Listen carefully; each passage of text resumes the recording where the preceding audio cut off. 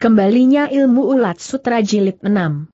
Air danau terasa dingin, hatinya lebih dingin lagi begitu dia mengumpulkan tenaga dalamnya berturut-turut sebanyak tiga kali, tenaganya baru saja sedikit terkumpul, dia sudah terapung di atas permukaan air.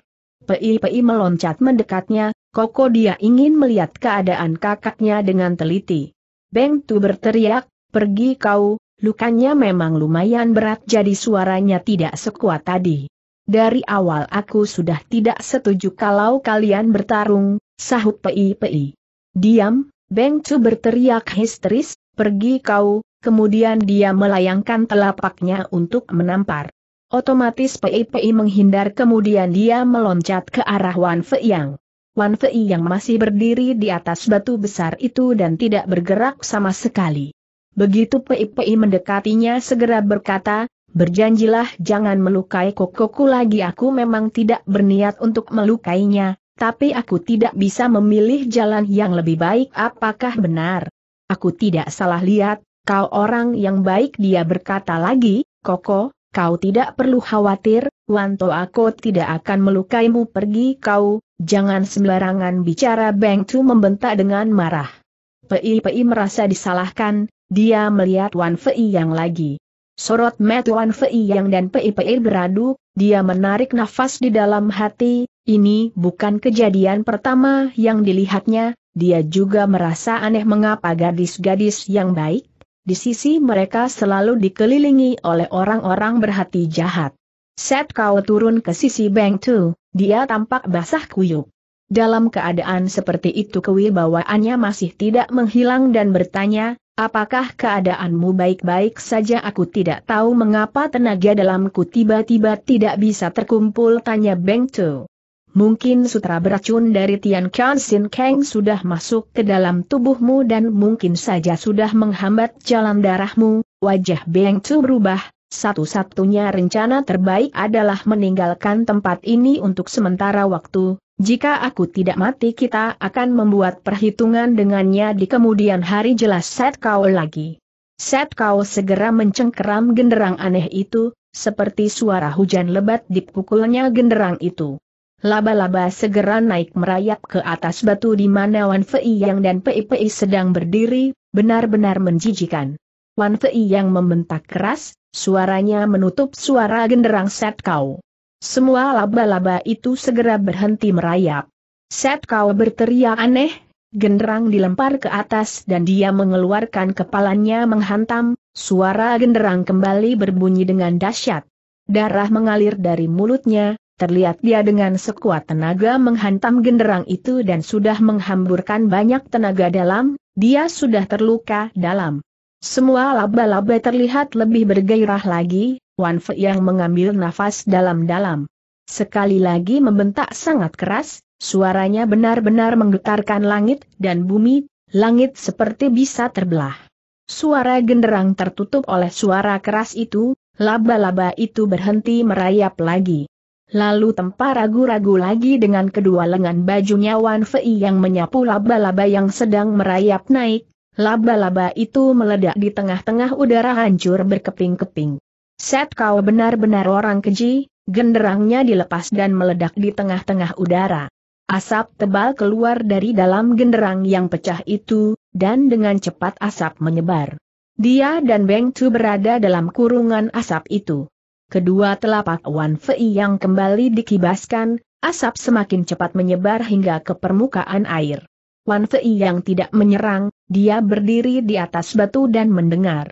Dalam kepulan asap mereka menghilang tanpa mengeluarkan suara sedikit pun. Setelah itu Wan Fei yang baru menghembuskan nafas lega. Jika Set Kao dan Beng Tu keluar dari balik asap dan menyerangnya, terpaksa dia harus membalas. Set Kao sudah terluka, jika lukanya bertambah lagi, mungkin dia akan mati. Bagaimana dia harus menjelaskannya kepada Pei Pei? Pastinya Pei Pei sangat khawatir, dengan termangu dia melihat ke arah permukaan air yang penuh asap. Akhirnya asap pun menghilang tertiup angin gunung. Beng Tu dan Set Kau sudah meninggalkan tempat itu. Mereka berdua kabur dengan cara memalukan, mereka melewati gunung dengan kelelahan dan kehabisan tenaga. keadaan Set Kau lebih baik dari Beng Tu, dia masih bisa memapah Beng Tu berjalan melewati gunung dan lembah. Tubuh Beng Tu terlihat sangat lemah, perasaan kecewa terus menyerangnya. Suhu, tampaknya aku sudah tidak kuat lagi, Beng Tu berkata demikian. Jangan sembarangan bicara, hanya sedikit kegagalan itu ajar Set Kau sangat mengerti jalan pikiran Beng Tu. Tenagaku benar-benar sudah tidak bisa terkumpul. Tenanglah. Pernafasanmu tidak teratur aku akan membantumu mengatur nafas dan tenaga apakah masih Bayis Beng Tu merasa curiga. Ilmu lekang dari kau tidak akan begitu gampang putus dan selesai begitu saja Set kau berkata dengan penuh percaya diri. Metu Beng Tu terlihat bercahaya lagi. Butuh berapa lama baru bisa pulih kembali tidak akan lama dia sama sekali tidak tahu seperti apa luka Beng Tu. Tapi dari nada bicaranya terdengar dia begitu yakin. Wajah Beng Tu terlihat sedikit tenang, dia memang punya pikiran yang cepat, tapi dengan pola pikir Set Kau yang sangat dalam pasti berbeda jauh. Dia menarik nafas, aku yakin bisa menjadi orang nomor satu di dunia persilatan kalah atau menang adalah hal biasa, tidak perlu ditaruh di dalam hati mengapa Tian Kian Sin Kang bisa mengalahkanku karena pengalaman dan waktu untuk berlatih ilmu itu, sebentar lagi mungkin saja kau bisa menang darinya kata Set Kau. Semua gara-gara PI-PI, kalau tidak, mana mungkin Wan Fei yang akan kemari kata Beng Tu. Mungkin orang itu bernasib baik kalau tidak karena nasibnya memang baik kata Beng Tu dengan suara kecil, kalau nasibnya buruk, Mana mungkin dia bisa sukses menguasai Tian Kian Sin Kang dan menjadi pesilat nomor satu di dunia persilatan? Bagaimanapun juga kita harus meninggalkan tempat ini untuk sementara waktu, setelah lukamu sembuh baru kita susun rencana lain, sepertinya kita akan sulit berdiri dalam barisan pesilat di dunia persilatan Tionggoan terlihat sorot Metu Beng tu sedikit ragu, Pong Pek Choan sudah dibawa pergi, rahasia kita akan terbongkar, kalangan persilatan Tionggoan akan membuat perhitungan dengan kita, aku rasakan seperti sangat menyukai Tongpek Choan Beng Tu terdiam, Set kau tertawa. Tidak apa. Apa pun yang kau lakukan aku akan tetap mendukungmu karena aku membutuhkan murid yang berani melakukan tindakan Beng Tu tertawa, tiba-tiba dia teringat pada Tong Ling, dia tidak tahu mengapa perasaannya kepada gadis itu begitu berkesan. Hal ini telah dilihat Set Kau, dia pun hanya bisa terdiam dan menarik nafas panjang. Sekarang mereka berdiri di sisi sebuah jurang, walaupun jurang itu tidak begitu dalam, tapi tetap sulit untuk turun. Set Kau mengatur nafas, organ dalamnya segera terasa sakit, apakah ilmu silatnya telah musnah? Beng Tu melihatnya, suhu, Apakah lukamu berat kita benar-benar sedang sial hingga bisa seperti ini Set Ko menarik nafas panjang. Hutang ini harus dibayar Beng Tu marah. Sekarang kita harus cepat-cepat meninggalkan tempat ini dia segera memeluk Beng Tu, lalu berbaring di bawah dan menggulingkan diri ke bawah gunung. Ini adalah satu-satunya cara yang bisa dia lakukan untuk meninggalkan tempat itu. Beng Chu mengerti tapi tetap saja dia merasa ingin tertawa. Dulu mereka bisa terbang dan berlari, gunung yang tinggi dianggap sebagai dataran rendah, jurang seperti ini tidak mereka anggap sulit sedikit pun. Yang paling berpengaruh menggunakan care ini turun gunung yang terluka tentu saja Set Kau.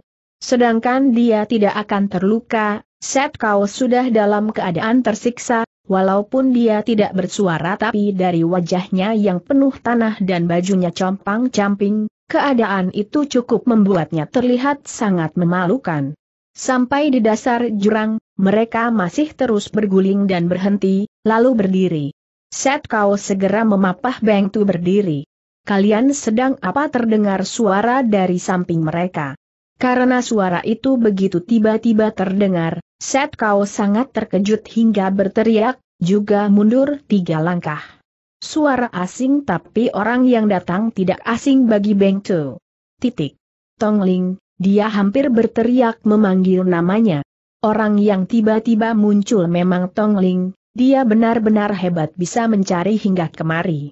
Melihat orang yang tidak dikenal datang, Set kau sudah bersiap-siap untuk bertarung tapi segera dilarang oleh Beng Tu. Refleksnya sangat cepat, dia tahu kalau Beng Tu melarang melakukan sesuatu pasti ada alasannya maka hawa membunuhnya pun segera menghilang. Nona, tolonglah kami, akhirnya Beng Tu keluar suara. Hal ini benar-benar membuat Set kau terkejut dan merasa aneh, tapi dia tidak berkata sepatah kata pun. Apa yang terjadi tanya Tong Ling. Beng Tu menunjuk ke atas jurang. Kami dirampok penjahat, setelah mereka mengambil uang dan harta kami mereka masih ingin membunuh kami untuk menutup mulut, maka kami menggulingkan diri ke dasar jurang baru bisa terlepas dari mereka, setelah itu dia bernafas ngos-ngosan. Semua itu bukan pura-pura nafasnya memang sudah sulit diatur. Metu, Tongling berputar, tidak disangka di sini ada orang yang jahat dan kejam juga, sekarang aku yang harus mengurus semua masalah ini. Tongling melempar sebungkus obat luka untuk Beng Tu, oleskan obat itu di atas luka kalian supaya tidak terjadi infeksi, kalian tunggu aku di sini, Aku akan ke atas dulu menangkap para penjahat itu supaya harta dan uang kalian bisa diambil kembali obat itu segera diambil Beng Tu terus-menerus mengucapkan terima kasih. Tong Ling tidak berkata apa-apa lagi, seperti seekor burung walet terbang ke atas jurang. Beng Tu terus melihat Tong Ling sampai sosok Tong Ling tidak tampak lagi. Baru melihat bungkusan obat itu. Set kau ikut melihat, dia hanya menarik nafas, sekarang dia baru membuka suara, ilmu meringankan tubuh gadis itu benar-benar bagus. Beng Tu seperti terbangun dari mimpi, ilmu senjata rahasianya lebih bagus. Apakah dia orang Tong Bun cucu perempuan Tong Pek Choan? Mengapa dia bisa datang kemari? Wan Fei yang bisa datang kemari, orang-orang Tionggoan lainnya bisa kemari juga, sepertinya bukan hal aneh betul, Set Ko menarik nafas, Untung dia tidak mengenalimu saat masuk Tong Bun, untung aku menutup wajahku Beng Tu menarik nafas, dia seperti kehilangan sesuatu. Malam itu dia ingin membuka penutup wajahnya supaya Ong Ling bisa melihatnya dengan jelas. Kalau hal ini terjadi apa yang akan terjadi berikutnya? Set kau bisa menilai ekspresi seseorang, dia pun mulai mengerti, sambil tersenyum berkata, kita harus cepat-cepat meninggalkan tempat ini jika dia bertemu dengan Wan Fei yang semua rahasia ini akan terbongkar kata Beng Tu sambil menatap ke atas jurang. Suaranya rendah lalu menggeser kakinya, tapi sosok Tong Ling tetap berada di dalam hatinya. Sewaktu Tong Ling bertemu dengan Wan Fei yang, dia masih berada di atas batu besar di danau itu, Pei Pei berada di pangkuannya. Awalnya Tong Ling tidak tahu kalau orang itu adalah Wan Fei Yang, dia berlari ke sana kemudian setelah dekat dia baru melihat dengan jelas kalau orang itu adalah Wan Fei Yang dan Pei Pei yang ada dalam pangkuannya, dia segera berhenti melangkah. Wan Fei Yang terlihat sedikit terkejut. Ternyata kau tentu saja aku, kau mengira karena aku tidak dibawa jalan olehmu maka aku akan tersesat saat Tong Ling bicara dengan Wan Fei yang tapi matanya terus melihat Pei Pei. Siapa dia tanya Pei Pei kepada Wan Fei yang? Namaku Tong Ling, aku adalah teman baik Wan Toako jawab Tong Ling. Pada kata Wan Toako dan teman baik nada bicaranya lebih ditekankan. Tapi Pei Pei seperti tidak memperhatikannya, dia menjawab. Aku adalah calon istri Wanto aku, mengapa bisa terjadi tanya Tong Ling setengah berteriak. Tentu saja setelah masuk ke daerah ini, cepat sekali, Tong Ling menatap Wan Fei Yang, kau kemari untuk mencari pembunuh atau mencari istri Wan Fei yang tidak menyangka kalau nada bicara Tong Ling begitu pedas, dia merasa malu dan tidak bisa menjawab. Apakah dari dulu kalian sudah saling kenal dia kemari dan bertemu denganku berapa lama Tong Ling tertawa. Tong Ling menatap Wan Fei Yang, orang-orang menyebut kau adalah Tai Ing Hiong, ternyata tidak salah Wan Fei yang berpikir, perempuan, itu akan bertambah hebat lagi Tong Ling menyindir. Wan Fei yang hanya bisa tertawa kecut. Tong Ling bertanya kepada Pei Pei, kata orang, perempuan suku bangsa Biao selalu menggunakan guna-guna, dengan guna-guna apa hingga membuat pahlawan hebat ini begitu cepat menyukaimu aku tidak menggunakan guna-guna, kalau begitu, pada pandangan pertama dia langsung jatuh cinta padamu tanya Tong Ling tertawa dingin. Aku tidak tahu siapa dia, tapi aku semakin cinta padanya kata Pei Pei, aku belum pernah melihat di dunia ini ada orang begitu baik apa yang Pei Pei pikirkan langsung diutarakan. Dengan aneh Tong Ling berkata, itu artinya kau bertepuk sebelah tangan aku tahu, suatu hari nanti dia akan suka kepadaku, Aku rela menunggu di akau gadis tidak tahu malu apakah aku salah masuk ke dalam pelukan seorang laki-laki, itu saja sudah salah tapi aku merasa aku tidak bersalah, aku harus menikah dengannya, kata Pei Tong Ling menjadi marah, berbicara dengan orang dari suku tidak berbudaya memang sulit.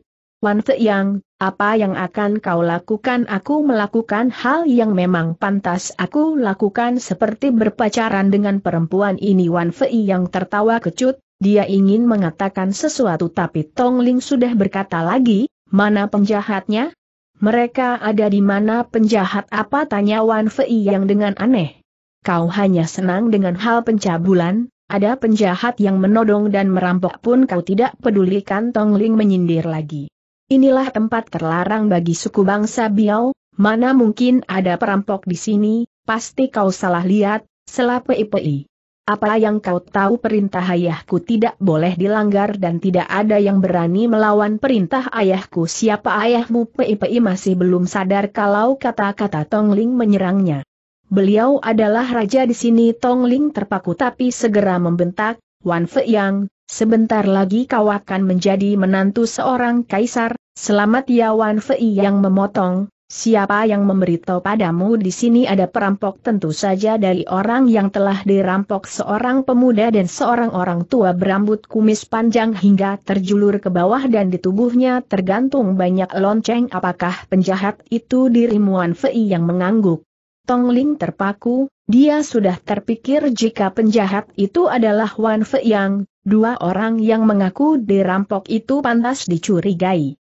Akhirnya Tong Ling tersadar bahwa dua orang tadi memang tidak seperti orang kebanyakan, aku memang menaruh curiga pada mereka. Yang satu adalah dukun di sini juga tetua mokau di sini. Yang satu lagi siapa dia adalah kokoku pangeran di sini kata Tong Ling tertawa dingin, tapi kelihatannya begitu kewalahan, dia tidak mirip seorang pangeran. Dia terpukul Wanto Ako hingga terluka, apa kali karena dia tidak setuju kalau adik perempuannya menikah denganmu, maka kalian bertengkar dan akhirnya dia yang terluka tidak begitu, kata PIPI.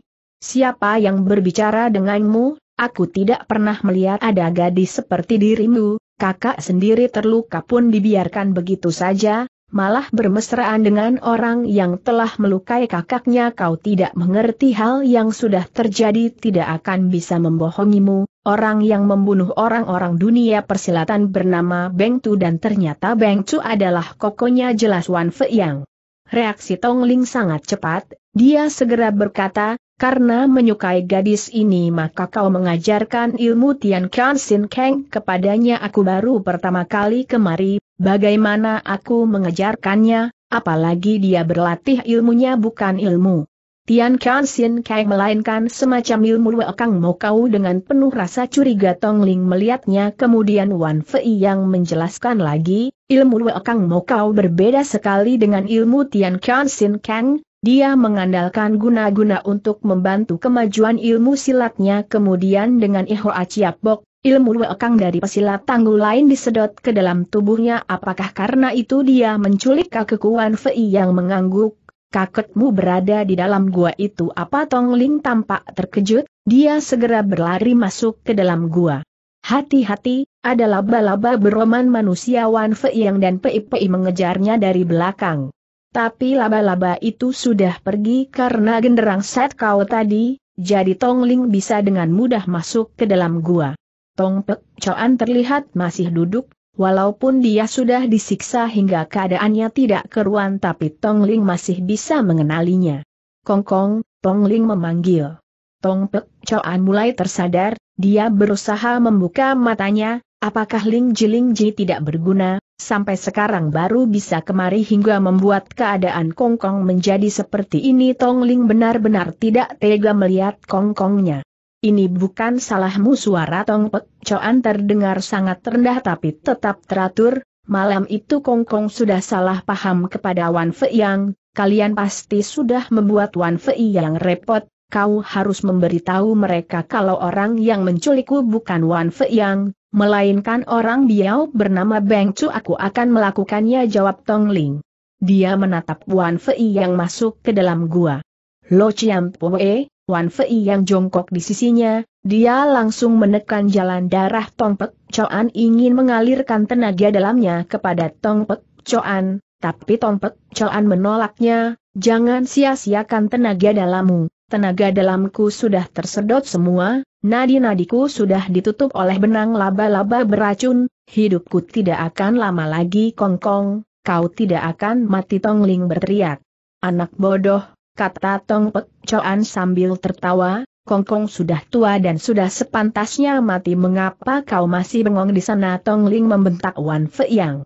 Aku selalu mengajarkan kepadamu, jika berbicara dengan orang lain harus sopan mengapa dia berpangku tangan hanya melihat saja tidakkah kau dengar, tadi aku sudah berpesan agar jangan menyia-menyiakan tenaga dalamnya. Tong Pecoan tertawa kepada Wan Fei Yang, cucuku dari kecil sudah terlalu disayang olehku maka kelakuannya seperti ini, jangan salahkan dia Wan Fei yang menggelengkan kepala, aku mengerti, dia hanya mengatakan apa adanya, sebenarnya tidak berniat jaliat apakah pada pertarungan tadi kau yang menang? Apakah Beng Tu kabur bersama gurunya Wan Fei yang mengangguk? Tong Pek Choan tertawa, dari awal aku sudah tahu kalau kau bukan orang yang kejam, tapi kau masih terlihat muda dia tidak sadar apa akibatnya melepaskan harimau pulang ke hutan, bencana apa yang akan datang di kemudian hari yang tidak kunjung habis. Kongkong tidak tahu, adik perempuan Beng Chu adalah calon istri Wan Fei yang Tong Pek Choan mengangguk, aku sudah tahu, dia adalah gadis yang baik Tong Ling tercengang dia menatap Pei Pei, aku tidak percaya Tong Pek Choan tidak melayaninya, dia terus menatap Wan Fei Yang. Jangan membunuh Beng Tu, bunuhlah Set Kau. Apakah kalau tidak ada Set Kau, Beng Tu tidak akan bisa berlatih ilmu Wekang Mo kau tanya Wan Fei Yang. Tong Pek Choan menggelengkan kepala, sebenarnya Beng Tu tidak terlalu jahat, Set Kau olah orang yang mempunyai ambisi jahat dan bersifat kejam? Oh, tapi Wan Fei yang tidak melihatnya.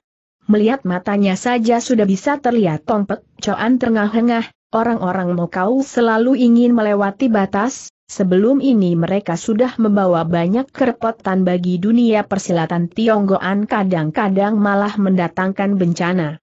Aku pun pernah terpikir akan hal itu, Beng Tu membunuh banyak pesilat Tionggoan bukan karena niat dari dirinya sendiri. Tiba-tiba Tong Pek Choan menarik nafas panjang, kita kembali ke pembicaraan semula, kalau bukan karena Beng Tu juga bersifat iblis, dia tidak akan mau bekerja sama dengan Set Kau, selanjutnya apa yang harus kita lakukan, kau harus mengambil keputusan sendiri Wan Fei yang mengangguk.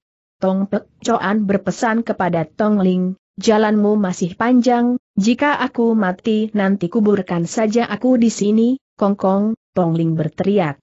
Tong Pek Choan tertawa, orang sudah mati jika dikubur akan tenang, kalau kau anak baik jangan membuat arwahku nanti tidak tenang setelah itu, nafasnya putus tubuhnya melengkung seperti udang kering, kulitnya pun mengering. Awalnya Tong Ling masih termangu-mangu, lalu baru menangis sejadi-jadinya. Sewaktu mengebumikan kakeknya terlihat mayat kakeknya mulai membusuk, rupanya Tong Pek Choan tahu racun laba-laba ini sangat jahat, jasadnya tidak bisa dibawa ke Tionggoan dan setiap saat bisa membusuk. Akhirnya Tong Ling mengerti alasan mengapa Tong Pecoan tidak mau dikubur di Tionggoan. Setelah merasa sedih, kemarahannya pun muncul, semua kemarahan dilampiaskannya kepada PIPI. Gerakannya sangat cepat dan tiba-tiba Wan Fei yang sendiri pun tidak sempat mencegah. Tangan kecilnya di balik sebuah pisau tipis sudah berada di depan tenggorokan PIPI. PIPI terkejut dan perlahan mundur, Tong Ling tertawa dingin, kalau kau bergerak, pisauku akan menggorok lehermu tangan yang memegang pisau menghalangi jalan mundur Pei Apa maksudmu tanya Pei Di mana kakakmu bersembunyi aku tidak tahu. Kalau kau tidak memberitahu, aku akan membunuhmu sekarang dia benar-benar tidak tahu selawan Fei Yang. Kau kenal dia berapa lama, apakah kau tahu semuanya dengan jelas tanya Tong Ling. Mana ada tempat berlatih ilmunya yang lebih rahasia kata Wan Fei Yang. Sekarang dia sedang mencari tempat untuk memulihkan lukanya, apakah selain gua ini tidak ada tempat yang lebih rahasia tanya Tong Ling. Sekalipun ada, kalau Pei tahu pun tidak akan mau mengantar ke sana, apakah kau tidak takut Pei akan membawa kita ke sana sampai kakak kandungnya pun berani dikhianati? Adik seperti ini memang jarang ada Tongling tertawa didingin. Dia tidak berniat jahat dan tidak terpikir akibatnya akan berat seperti ini, aku pun tidak pernah menjelaskan kepadanya kata Wan Fei Yang. Kalau begitu, peralat saja dia usul Tongling. Wan Fei yang merasa malu, Pei Pei malah membelanya, Wan To aku bukan orang seperti itu, sebenarnya dia tidak sengaja melukai kokoku, dia hanya ingin kokoku jangan sampai melukai orang lain lagi, aku juga seperti itu, kalau begitu, cepat beritahu tempat di mana kokomu bersembunyi, biar aku sendiri yang ke sana untuk membunuhnya. Nada bicara Tongling sangat dingin. Kalau kau berniat seperti itu, Walaupun aku tahu tempatnya, aku tidak akan memberitahumu kalau begitu, kau tidak menginginkan nyawamu lagi Wan Fei yang tertawa, dia hanya berkata asal-asalan, kau juga bukan orang yang tidak tahu aturan dan sembarangan membunuh aku mempunyai care tertentu supaya dia mau bicara mengapa tidak tanya saja kepadaku usul Wan Fei yang. Kau tahu juga? Kau tahu dari mana tanya Tong Ling. Ilmu yang dilatihnya adalah ilmu Wekang Mokau dengan ilmu Ihoa Ciapbok, menyedot tenaga dalam dari pesilat tangguh lain, sekarang dia sedang terluka, dia butuh lebih banyak tenaga dalam dari orang lain untuk mengobati dan memulihkan lukanya. Di daerah suku Biao ini memang ada pesilat tinggi tapi tidak banyak, jadi dia harus ke Tionggoan lagi. Apakah kau tahu kalau Tionggoan itu sangat luas? Tanya Tong Ling. Bagaimanapun itu arah tujuannya tetap, dia tidak akan berputar-putar di daerah suku Biao kata Wan Fei Yang. Baik. Kita segera kembali ke Tionggoan, dengan care apa pun kita harus mencari Beng Tu kata Tong Ling. Aku ikut kata Pei segera. Buat apa kau ikut kami? Apakah kau senang melihat kakakmu mati di tangan orang lain? Tanya Tong Ling.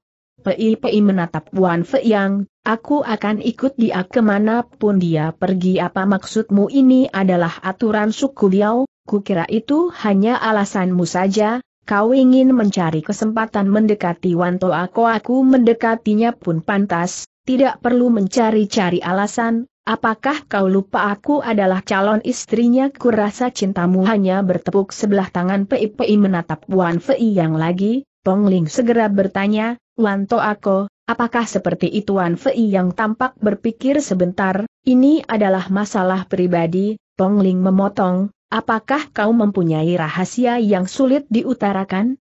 Apakah siluman kecil ini memakai care? Tidak benar, aku punya care tersendiri untuk mengatasi masalah ini dan tidak ada hubungannya dengan Nona kata Wan Fei yang.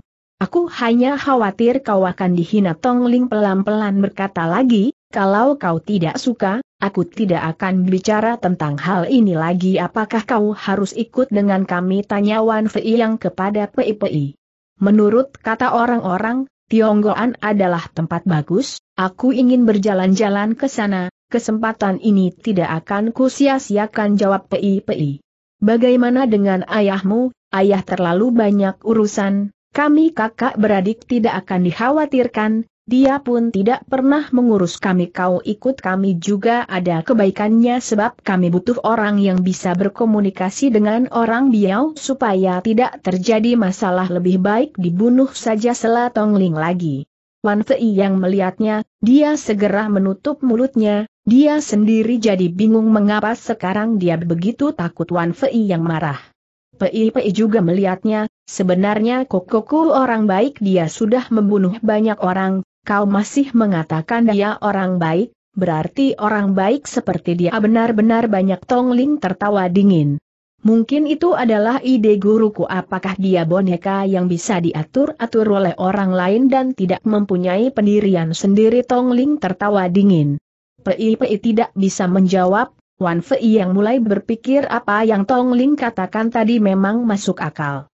Tidak diragukan lagi, Pei Pei adalah gadis lembut, walaupun Tong Ling bersifat keras tapi dia juga mempunyai sisi lembut. Maka dua gadis itu berjalan berbarengan. Jika mereka di depan Wan Fei yang tidak terlihat ada masalah, tapi di balik semua itu kelembutannya sudah tidak ada, yang ada mereka saling tidak mau mengalah dan saling menjegal lawan untuk mendekati Wan Fei yang. Tong Ling yang menjadi inisiatif karena dia tidak rela melihat PIPI menempel terus pada Wan Fei yang. Walaupun dia tahu perempuan dari suku Biao sangat bebas perilakunya dan tidak banyak aturan kaku.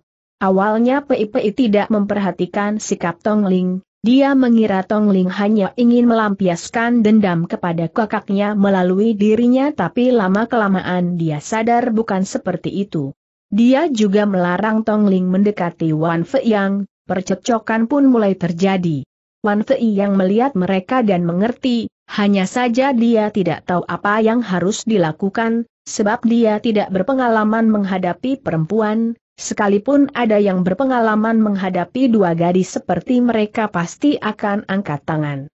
Yang satu menguasai ilmu senjata rahasia yang sangat tinggi, lahir di Tongbun sebuah perkumpulan yang sangat terkenal, dan dia juga ditunjuk oleh Tong Pek Choan menjadi pemimpin Tongbun. Hubungan mereka memang kakek dan cucu, tapi seorang Tong Pek Choan demi masa depan Tongbun tidak akan sembarangan mencomot seseorang menjadi pemimpin. Dia pasti tahu sampai di mana ilmu silat Tong Ling. Mengenai Pei dia menguasai ilmu guna-guna tapi dia gadis yang baik, dia tidak akan menggunakan ilmu perdukunan yang jahat untuk mencelakakan orang. Masalahnya dia tidak tahu kalau ilmu perdukunan ini mana yang jahat dan yang mana yang tidak jahat, sebelumnya dia tidak pernah mencelakakan orang, dia tidak tahu dalam keadaan apa ilmu guna-gunanya baru boleh digunakan. Sebenarnya dua orang gadis ini sangat berbahaya, mereka sangat liai, jika mereka bertarung akibatnya benar-benar tidak bisa dibayangkan, tapi kalau tidak bisa saling mengendalikan diri akibatnya mereka pasti akan bertarung. Sepanjang jalan Tong Ling selalu menyindir, Pei Pei pun tidak mau kalah. Tapi yang pertama menyerang malah Pei Pei, ini di luar dugaan Wan Fei Yang, dia tidak keburu menghalangi mereka karena dia tidak mengerti apa isi hati PIPI dan tidak mengerti ilmu perdukunan dia tidak tahu kapan PIPI akan menyerang Tong PIPI mulai memakai guna-gunanya, saat itu mereka sedang makan malam. Tapi Tong Ling adalah pesilat tangguh ahli senjata rahasia, pengamatannya sangat jeli. Begitu mangkok nasi diangkat, dia melihat sebutir nasi di dalam mangkoknya terus bergerak. Pertama dia mengira dia telah salah melihat, tapi begitu melihat lagi dengan teliti dia baru sadar kalau dia tidak salah lihat. Nasi di dalam mangkok itu segera dibuang ke bawah meja. Wan Fei yang segera melihat sikap Tong Ling yang aneh, sorot matanya mengawasi gerakan mangkok dan bertanya, ada apa kata-kata baru terucap keluar, dia melihat butiran nasi aneh itu. Sumpit yang ada di tangan Tong Ling segera digunakannya untuk mengorek-ngorek nasi itu, dia segera berteriak terkejut. Di dalam tumpukan nasi terlihat beberapa puluh ekor ulat kecil berwarna abu keputihan, mata ulat-ulat itu berwarna abu, kaki mereka sangat banyak, kalau tidak dilihat dengan teliti tidak akan bisa membedakannya. Kaki-kaki kecil ulat-ulat itu terus bergerak-gerak tapi tubuh mereka tidak bergeser dengan cepat. Warna ulat-ulat itu hampir sama dengan warna butiran nasi, maka sulit membedakan apalagi kalau sudah tertutup oleh nasi. Jika ulat-ulat dan nasi itu dimakan dan masuk ke dalam perut, apa yang terjadi kemudian kita tidak akan tahu, tapi melihat ulat-ulat kecil itu cukup membuat bulu kuduk berdiri. Metle, Tong Ling segera berputar, pelayan dia berteriak. Seorang pelayan segera datang menghampiri, Tong Ling ingin bertanya apa yang sebenarnya terjadi, tapi Wan Fei yang sudah bertanya terlebih dulu, Xiao Ke, nasi dan sayur kami apakah sudah lengkap? Pelayan itu tertawa, tidak lama lagi, tamu boleh makan dulu, pesanan berikutnya segera akan diantar. Tong Ling terpaku, dia melihat Wan Fei Yang, Wan Fei yang tertawa, kita akan menginap di sini, makan malam dengan waktu yang agak lama pun tidak masalah Tong Ling ingin bertanya tapi Wan Fei yang sudah menunjuk mangkok nasi, dia segera melihatnya ternyata ulat-ulat kecil itu sudah tidak ada, dia terpaku lagi. Ulat-ulat itu datang cepat, pergi pun cepat. Di dalam mangkok tidak terlihat ada ulat, dia tidak bisa marah lagi. Pelayan itu sudah pergi. Tong Ling menatap Wan Fei Yang, apakah mataku yang sudah rusak Wan Fei Yang menggelengkan kepala, coba kau lihat lagi begitu Tong Ling melihat mangkok nasi itu tampak ulat-ulat kecil itu muncul lagi. Akhirnya dia melihat Pei-Pei yang duduk di sisinya dan dari tadi tidak bereaksi apa-apa. Apakah kau yang menaruhnya suara dan wajah Tong Ling mulai melotot dengan perasaan tidak suka? Betul. Aku yang menaruhnya Pei-Pei mengakuinya. Benda apa itu ku, Pei tidak merasa bersalah. Dari awal aku sudah tahu kau adalah siluman kecil yang sering menggunakan ilmu hitam, kau berhati jahat dan selalu mencari kesempatan ingin mencelakai kuku ini, Tongling memotong, untung aku mengetahuinya, kalau makhluk-makhluk ini dimakan panca inderaku akan keluar darah dan aku akan mati seketika Pei menggelengkan kepala, Ku ini hanya untuk menakut-nakuti setelah memakannya pun tidak akan terjadi apa-apa berarti seperti cairan penghancur mayat, setelah disiram tulang pun akan hancur dan tidak tersisa apa-apa kata Tong Ling.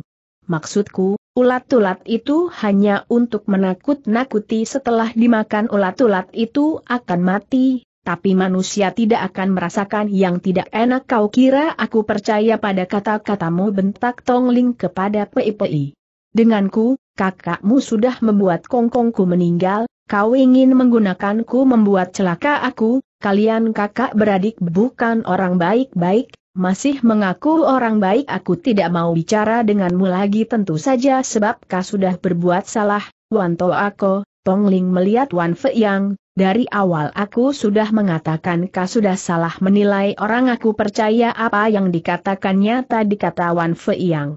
Bukti sudah ada di depan mata, kau sendiri juga melihatnya, mengapa masih membelanya kalau dia benar-benar ingin kau makan nasi tadi, ulat-ulat yang ada di dalam nasi itu tidak akan bergerak. Ulat-ulat itu memang selalu bergerak. Tongling tertawa dingin.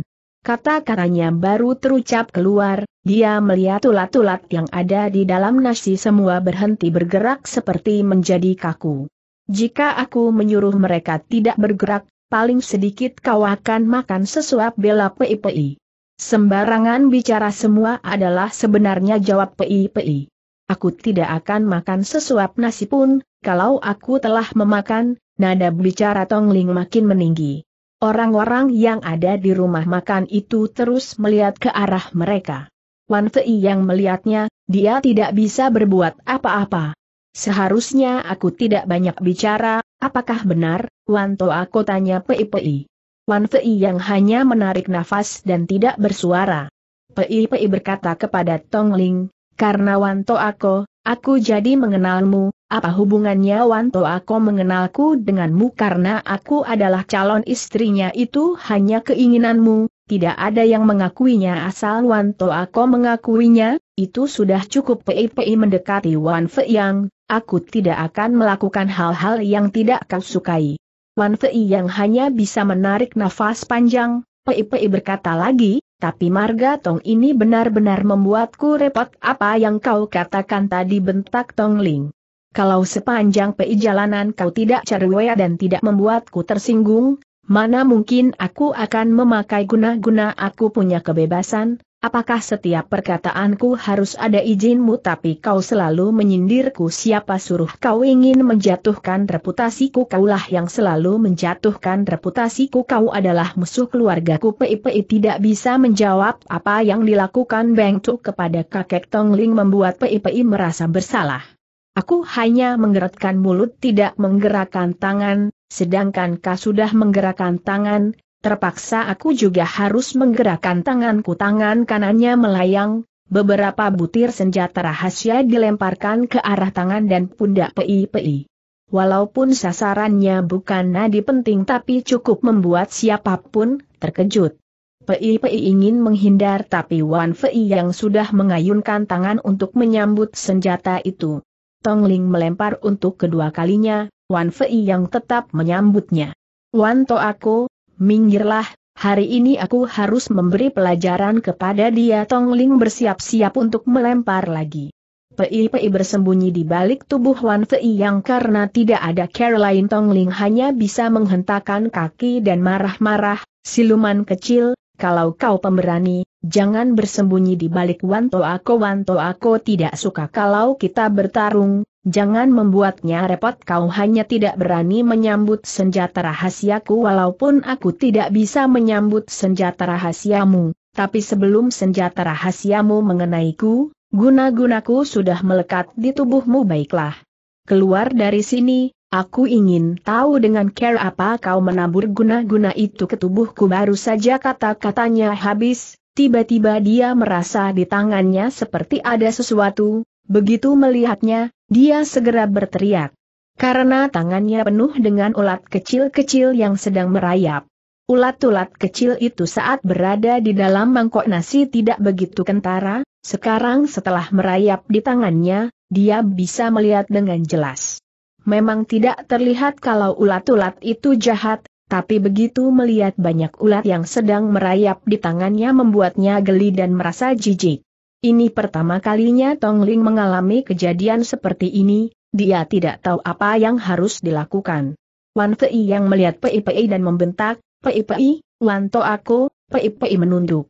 Jangan main-main lagi, Cepat tarik kembali guna-gunamu Pei Pei melihat Tong Ling, mulutnya bergerak-gerak dan ulat-ulat yang sedang merayap di tangan Tong Ling segera pergi. Sekarang Tong Ling baru melihat ulat-ulat kecil itu mempunyai sepasang sayap tembus pandang. Setelah melihat serangga-serangga itu pergi, dia baru bisa menghembuskan nafas tapi senjata rahasia yang ada di tangannya sudah dilemparkan ke arah Pei. Wan Fei yang sekali lagi menyambut, Nona Teng, demi diriku, cukup sampai di sini. Kalau kami terus bertarung apa yang akan kau lakukan? Tanya Tong Ling tiba-tiba. Tentu saja Wanto aku akan berada di pihakku, lalu kami akan memberi pelajaran kepadamu selapa IPI. Wanto aku adalah pendekar dari perguruan lurus, mana mungkin dia akan membantu orang yang sering menggunakan guna-guna dari Mokau aku tidak pernah menggunakan guna-guna untuk mencelakakan orang, Aku bukan iblis, kalau bicara hati-hati, jangan menyerangku lagi Tong Linggam dia meletakkan kedua tangannya di bawah, dia sudah memegang senjata rahasia, setiap saat bisa melemparkannya. Entah Wan Fei yang melihatnya atau tidak. Kalau kalian terus begitu, biar aku saja yang pergi kata Wan Fei yang marah. Kalau kau tidak ikut campur itu lebih baik, aku mempunyai care, tertentu menghadapi siluman kecil ini, kata Tong Ling. Wan To Ako, kau mau ke mana tanya Pei. Ke mana pun aku bisa pergi, asal tidak usah melihat kalian lagi jawab Wan Fei Yang. Tidak, Pei dan Tong Ling bersama-sama berteriak. Akhirnya mereka mengerti alasan Wan Fei yang pergi. Aku harus mengikutimu kata Pei. Kau tidak tahu malu Tong Ling marah, tangannya mulai melayang. Pei tidak takut, silakan lemparkan senjata rahasiamu, biar aku ambruk karena senjata rahasiamu, aku tidak mau wanto aku sedih Tongling segera menurunkan tangannya, kau benar-benar jahat, kau ingin membuat wanto aku membenciku, aku tidak akan terpancing olehmu kepala Wan Fei yang seperti akan terbelah menjadi dua. Masalah paling sulit adalah menghadapi gadis, dari awal dia sudah tahu, tapi inilah pertama kali dia mengalami keadaan seperti ini. Pei-Pei segera kembali ke tempatnya mengambil mangkok dan sumpit. Tong Ling juga duduk kembali di tempatnya, dia melihat nasi yang ada di dalam mangkok, bulu kuduknya merinding lagi, dia seperti melihat ada ulat yang sedang merayap di dalam nasi. Kau mulai lagi Tong Ling berteriak lagi. Apa maksudmu dengan mulai lagi jangan begitu tegang matuan Fei yang terlihat berputar. Tong Ling baru bisa menghembuskan nafas karena di tangannya memang tidak ada apa-apa. Wan Fei yang meminta semangkok nasi lagi. Itu membuat Tong Ling merasa tenang dan lebih kagum kepadanya. Pastinya makan malam kali ini berada dalam suasana tidak enak. Setelah makan Wan Fei yang baru merasa tenang. Dia mengira tidak akan ada masalah yang muncul lagi, tapi masalah muncul di waktu dia sedang berpikir. Kamar hanya ada dua, satu untuk Wan Fei Yang, satu lagi untuk Tong Ling dan Pei Pei. Biasanya dua gadis berada dalam satu kamar tidak akan terjadi masalah, tapi sewaktu tidur Pei Pei malah lari dan masuk ke kamar Wan Fei Yang. Saat Pei Pei datang ke kamar Wan Fei Yang, Tong Ling mengikuti dari belakang. Dia memang selalu mengawasi Pei Pei tapi bukan masalah guna-guna. Pei Pei sudah berjanji tidak akan menggunakan guna-guna lagi, supaya Wan Fei yang tidak membencinya. Tong Ling sangat tenang mengawasi Pei Pei karena dia tidak ingin Pei Pei mendekati Wan Fei Yang. Maka begitu Pei Pei meninggalkan kamar, dia segera mengejarnya dari belakang. Baru saja Wan Fei yang membuka pintu kamarnya dan Pei Pei sudah menerjang masuk, dia ingin bertanya tapi Pei Pei sudah menutup pintu, sebelum ditutup Tong Ling sudah melangkah masuk supaya pintu tidak bisa ditutup. Ada apa kau kemari tanya Pei Pei. Kalau kau sendiri kemari ada apa Tong Ling balik bertanya. Aku datang untuk melayani Wanto aku, ini adalah kebiasaan bangsa kami jawab Pei Pei. Aku rasa itu hanya kebiasaan dari dirimu sendiri apakah kau lupa aku adalah calon istrinya, melayaninya adalah tanggung jawabku Pei menjawab dengan serius. Tong Ling tertawa dingin, Pei segera membereskan ranjang Wan Fei Yang, dia tidak mengeluarkan suara, juga tidak melayaninya. Tong Ling menatap Wan Fei Yang, dia tidak bereaksi sama sekali, seperti tenggelam dalam pikirannya sendiri. Wan Fei Yang memang sedang berpikir. Masa lalunya memang sangat pahit, tapi dia selalu mengingatnya. Akhirnya Tong Ling tidak tahan lagi, dia berteriak, Wan To aku, Wan Fei yang seperti terbangun dari mimpi, ada apa Tong Ling melihat Pei Pei, kau benar-benar menerima layanannya melayani atau tidak, kukira tidak ada salahnya kata Wan Fei Yang. Kalau begitu, aku juga akan melayanimu. Dia melangkah ke depan Pei dan merebut selimut yang ada di tangan Pei. Apa hubunganmu dengannya teman? Tong Ling tertawa dingin, aku tidak akan seperti kau memaksa mengakui diri jadi calon istrinya, kalau begitu, keadaan kita tidak sama, jangan terus mengikutiku, Aku melakukan apa yang pantas kulakukan. Siapa bilang aku tidak boleh melakukan semua ini, Wanto aku pun tidak melarangku, kau yang cerewet kalau dia tidak menganggap semua ini masalah, aku juga akan seperti itu, apa yang kulakukan tidak ingin membuatnya marah, aku harus melaksanakan kewajibanku apa yang akan kau lakukan Tongling melotot, matanya penuh dengan kobar permusuhan.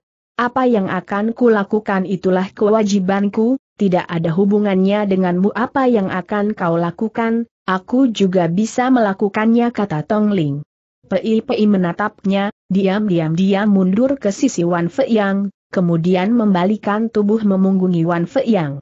Sewaktu Tong Ling melihat perbuatan Pei Pei, dia tampak bengong, kemudian berteriak, apa maksudmu reaksi Tong Ling membuat Wan Fei Yang merasa aneh.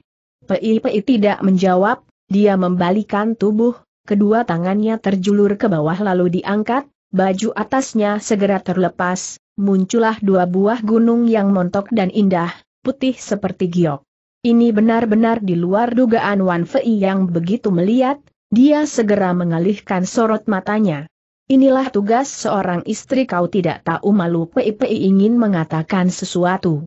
Wan Fei yang segera membentak, cepat pakai baju muanto aku, Pei masih ragu.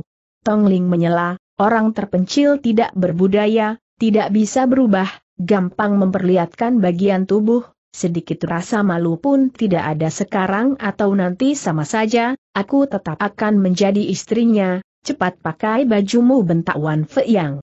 Pei mengambil kembali bajunya yang terjatuh.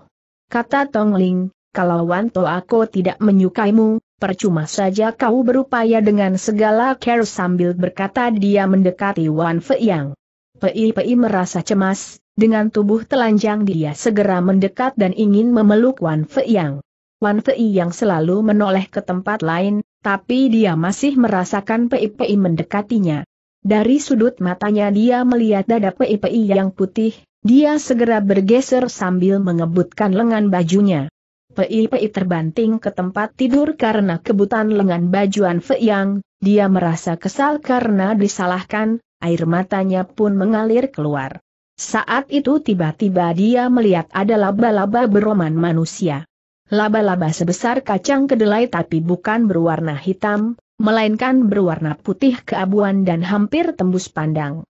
Pei-Pei segera termanggul setelah tahu ada laba-laba beroman manusia, dia juga tahu apa kegunaan laba-laba jenis ini.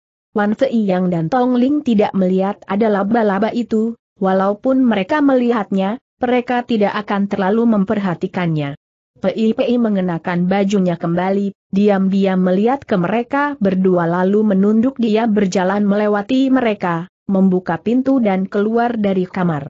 Wan Fei yang masih berdiri termangu. Begitu pintu tertutup, dia baru menghembuskan nafas panjang. Apakah masalah ini bisa diselesaikan dengan baik? Kalau tidak, apa yang harus dia lakukan?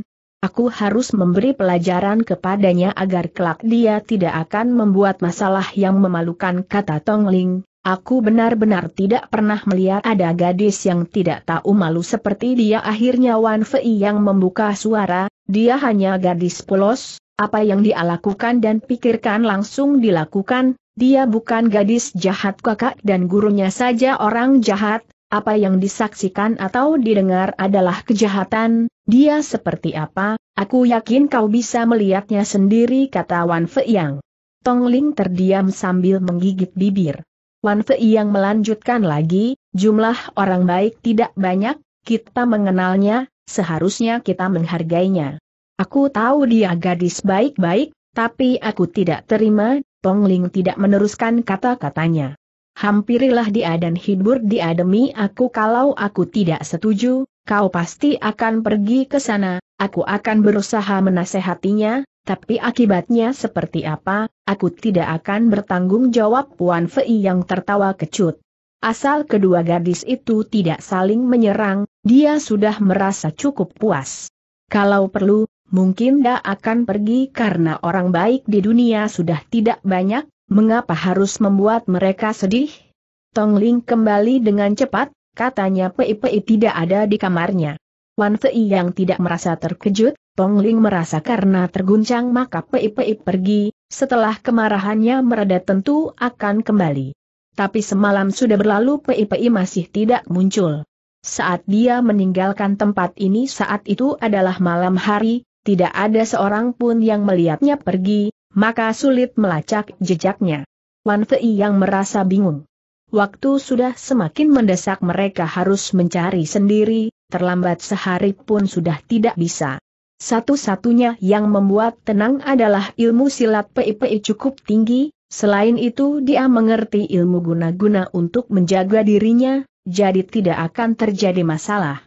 Awalnya Tong Ling merasa sangat senang karena kepergian PIPI tapi setelah melihat Wan Fei yang gelisah seperti itu, dia pun ikut terganggu. Sebenarnya Tong Ling tidak berhati jahat, tapi begitu melihat PIPI mendekati Wan Fei yang, rasa cemburunya segera muncul maka kata-kata yang keluar selalu terbawa emosi. Laki-laki atau perempuan sulit terlepas dari fasa tertarik dan tidak bisa berjiwa besar dalam masalah cinta, saat ini Pei sedang berada di sebuah kamar rahasia di sebuah tempat sembahyang. Tempat sembahyang seperti ini banyak terdapat di wilayah suku Biao tapi yang megah dan besar sangat sedikit. Tempat ini berada di salah satu tempat sembahyang, tempat ini dibangun dan diawasi oleh Set Kau. Di bawah tempat sembahyang itu ada sebuah terowongan rahasia dan bisa menembus ke sana kemari. Kalau Wan Fei yang mempunyai banyak waktu, dia tidak akan sulit mencari PIPI dan akan menemukan tempat ini, tapi ruangan rahasia atau jalan rahasia tetap ada penghalangnya. Ruangan rahasia atau jalan terowongan itu pasti mempunyai tempat masuk atau keluar, dan itulah celahnya.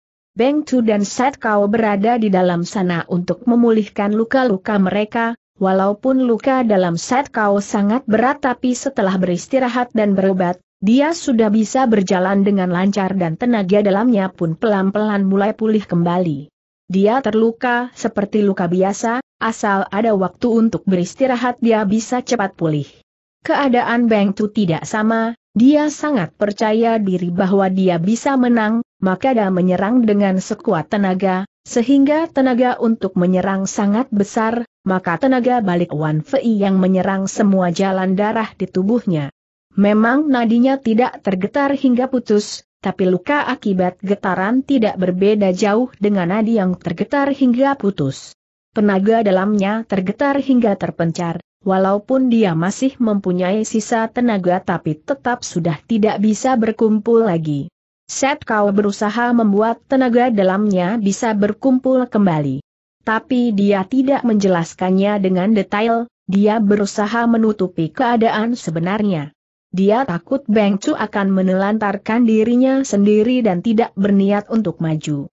Mencari orang sebagai pengganti Beng Chu, sama sekali tidak membuatnya percaya diri, tapi jika ada yang cocok dia tetap akan siap. Tapi selain Beng Tu rasanya tidak ada orang yang cocok lagi. Beng Tu bukan hanya harapannya juga harapan dari Mo Kau. Apakah Mo Kau bisa terkenal di Tionggoan? Semua harus melihat tekat Beng Tu. Jadi selama masih ada sedikit harapan, dia tidak akan melepaskan, dia akan berusaha menolong Beng Tu. Sampai saat ini luka Beng Tu sudah jauh lebih baik. Set kau hanya khawatir Beng Tu akan patah semangat. Ilmu Iwa Ekang yang Beng Tu latih adalah ilmu Iwa Ekang aliran Mokau. Sebenarnya dengan ilmu Iwa Ekangnya dia bisa mengobati lukanya, dan ilmu Iwa Ekang Beng Tu kebanyakan didapatkan dari hasil Hoa Ciap Bo. Jika bisa mendapatkan orang yang cocok tidak sulit untuk memulihkan tenaga dalamnya yang sudah lenyap. Masalahnya Set Kau sendiri juga terluka, jika ingin mencari seorang lawan yang mempunyai tenaga dalam kuat lalu dengan ilmu Ihoa Bok, digunakan oleh Beng Tu, dia tidak sanggup. Tapi Set Kau berusaha dan melihat-lihat di mana ada pesilat seperti itu. Akhirnya dia melihat Wan Fei Yang, Tong Ling, dan Pei Pei.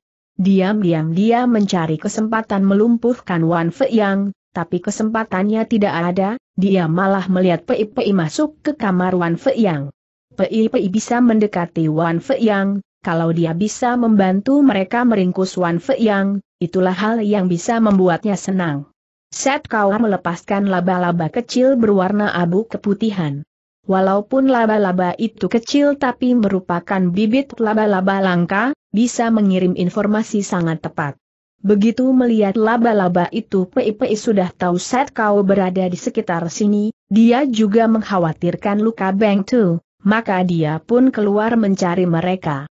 Dari luar luka Beng Tu tampak tidak apa-apa, setelah Pei melihat keadaan Beng Tu, dia merasa agak tenang dan ingin kembali ke sisi Wan Fei Yang. Set Kau mengizinkan dan mengemukakan permintaannya, agar sewaktu Pei Pei mendekati Wan Fei yang menggunakan guna-guna untuk memikat Wan Fei yang. Pei Pei segera menggelengkan kepala, dia tidak lupa pada pesan Wan Fei yang dan dia siap menunggu. Mungkin kau bisa bersabar menunggu tapi jangan lupa di sisi Wan Fei yang ada Tong Ling, kata-kata Set Kau menggetarkan hati Pei Pei. Dengan penuh rasa percaya diri Pei Pei menjawab, Wanto aku tidak akan menyukainya. Kalau dia tidak suka, mengapa membiarkan gadis itu berada di dekatnya? Pei Pei harus mengakui kata-kata Set Kau masuk akal, Set Kau pandai menilai reaksi seseorang, dia berkata lagi, gadis itu pintar bermain taktik, dia ingin mengusirmu dan merebut Wan Fei yang dari sisimu. Aku tidak akan gampang tergeser tapi dia dengan segala upaya akan berusaha menggeser dan menyerangmu, Apakah kau tidak sadar saat kau menaruh curiga? Wanto aku adalah orang yang mengerti aturan tapi mereka sama-sama dari suku Han, lebih gampang berkomunikasi. Jika ada masalah Tong Ling hanya butuh satu kalimat untuk menjelaskannya sedangkan kau butuh sepuluh kalimat PIPI mengangguk. Set kau berkata lagi, aku melihat dia lebih pintar bicara dibandingkan denganmu, kalau kalian bersengketa yang kalah pasti dirimu, di depan Wan Fei yang kau akan terlihat lebih jayat Pei Pei memang tidak tahu seperti apa perasaan Wan Fei yang, tapi setelah Set Kau berkata seperti itu dia baru merasa khawatir.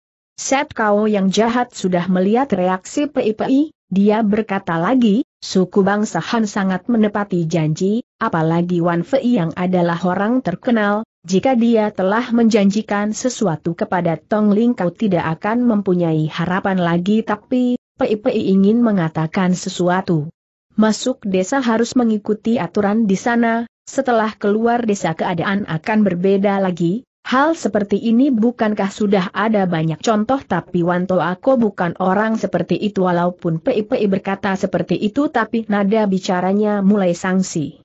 Set kau yang berpengalaman bisa melihatnya dengan jelas, dia berkata lagi, kau siap menanggung resiko ini, aku tidak akan bisa membantumu lagi. PIPI berpikir sebentar, apa yang harus kulakukan sekarang aku sudah menjelaskannya. Bukan apakah benar-benar harus memakai guna-guna asal dia mengizinkanmu mendekatinya, itu sudah ada cukup, ilmu silatnya memang tinggi asal dia tidak waspada kepadamu masukkan ulat ke dalam tubuhnya itu sebenarnya tidak sulit aku tidak mengerti guna-guna yang kau pilih semacam guna-guna yang bisa membuat dia lupa segalanya dan bisa membuatnya hidup sampai tua di perbatasan biau, untuk menemanimu seumur hidup aku tidak mempunyai jenis guna. Guna seperti ini, aku bisa memberikan kepadamu dan Carol menguasai guna-guna ini tidak rumit. Akhirnya PIPI mengerti juga, setelah dia terkena guna-guna ini apakah dia akan terluka? Tidak? Hanya saja pola pikirnya menjadi sederhana, setelah itu dia hanya akan setia kepadamu. Maksudnya, kalau aku tidak mau dia kembali ke Tionggoan, dia pasti tidak akan pulang ke Tionggoan. Itu sudah pasti, Selamanya dia akan tinggal di perbatasan suku Biao tapi dia pendekar terkenal di Tionggoan. Seorang pendekar pasti akan berkelana dan kau tidak bisa seterusnya mengikuti dia, lebih-lebih sulit menerima jika dia ke mana-mana akan menabur cinta PIPI menundukkan kepala.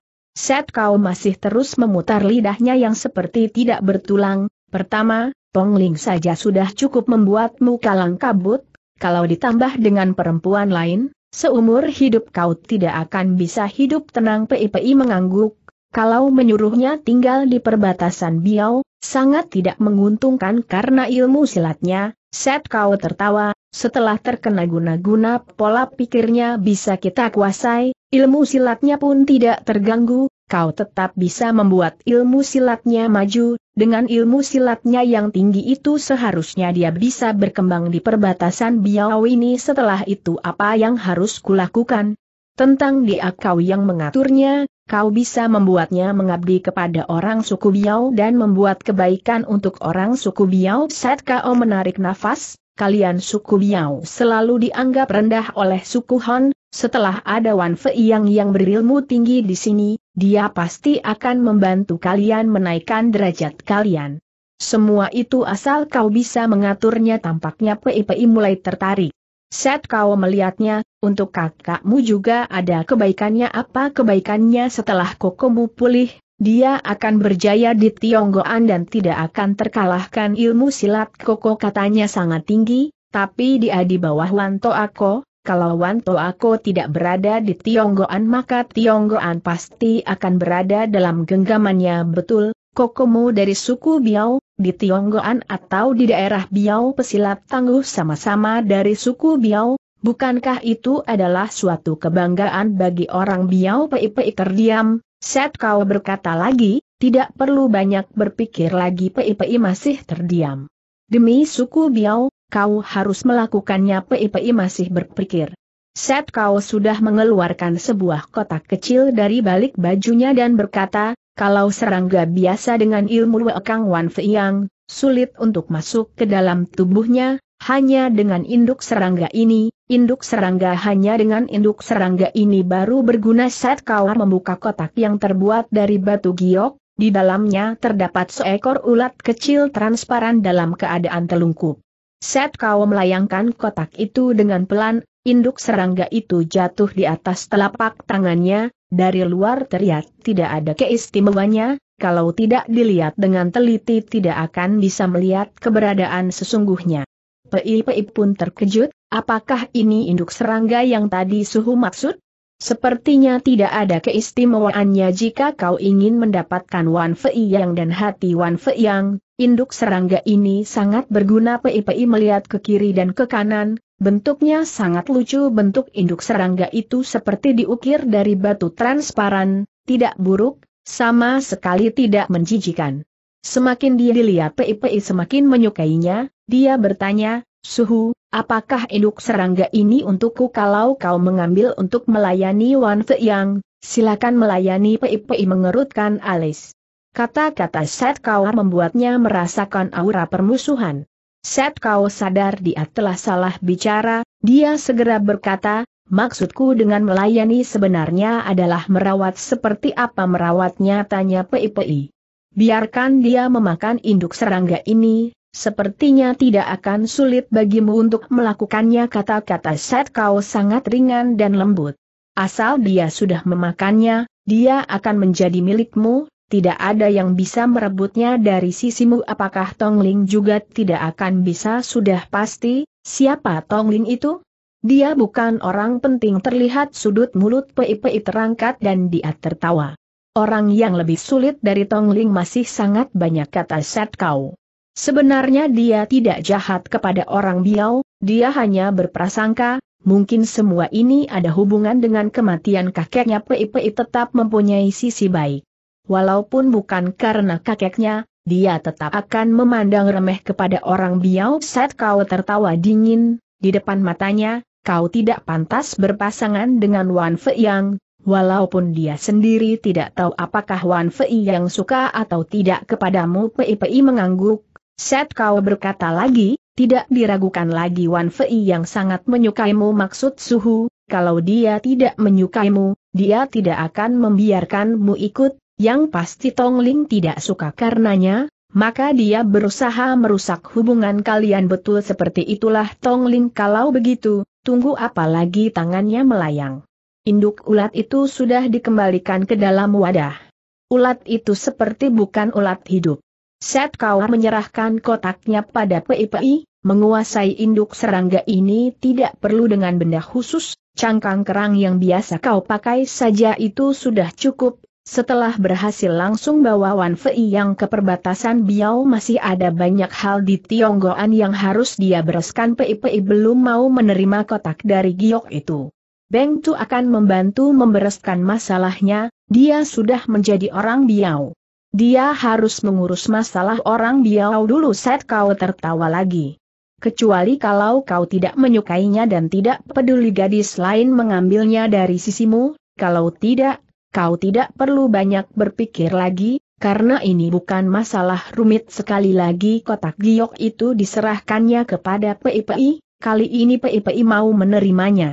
Induk serangga itu tetap terlihat lucu, sampai sekarang PIPI tidak merasa jijik, Semakin dilihat dia merasa semakin senang dan semakin suka, dia percaya induk serangga itu akan menghubungkan dia dan Wan Fei yang selama-lamanya. Dia memang tidak berpengalaman, dia tidak tahu bahwa dunia ini banyak terdapat orang jahat, dia juga tidak tahu seperti apa kehidupan di dunia ini, kecuali cinta masih ada banyak hal yang lebih penting.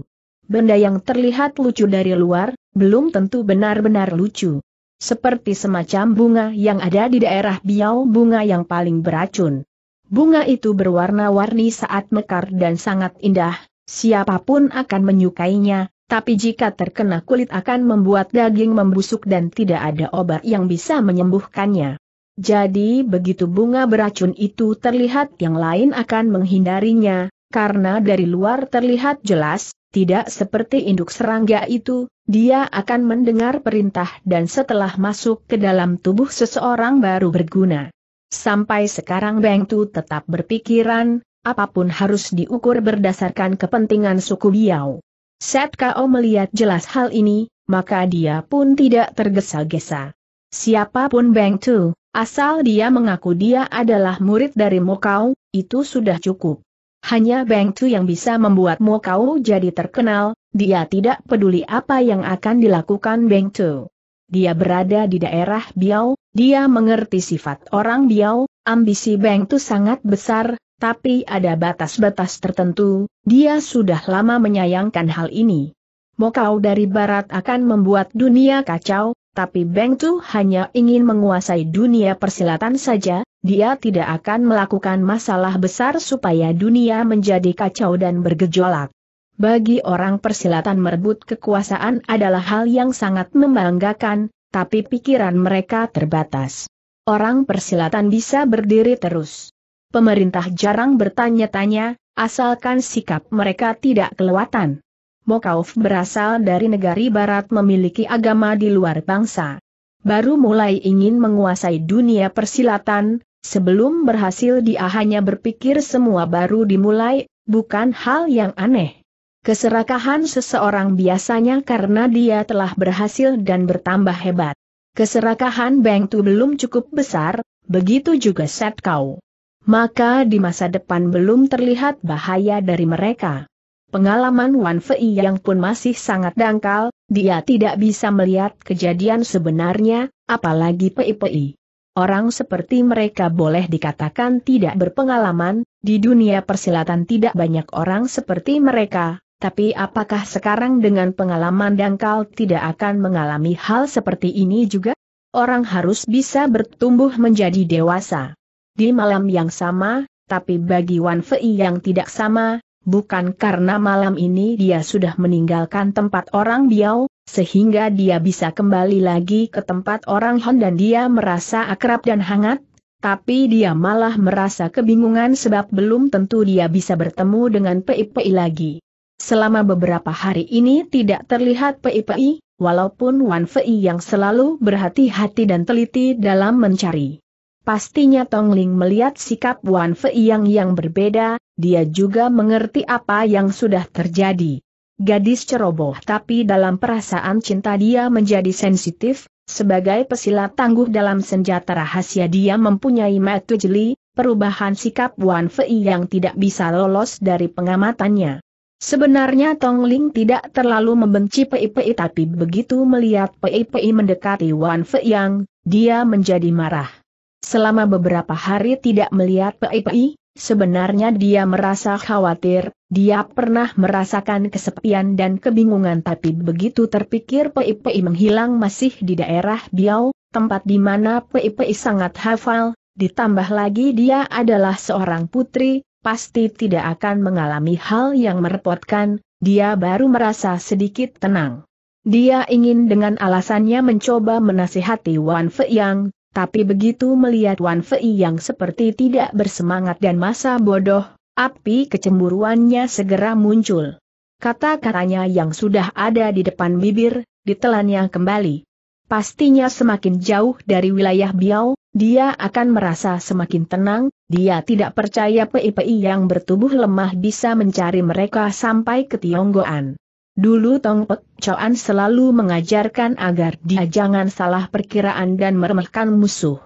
Di depan musuh dia tidak ragu-ragu lagi, dia melakukan semuanya dengan baik, tapi tetap saja dia meremehkan PIPI, karena dia tidak menganggap PIPI adalah musuh. Dia tidak tahu dalam medan percintaan dan dalam medan pertarungan sebenarnya tidak jauh berbeda.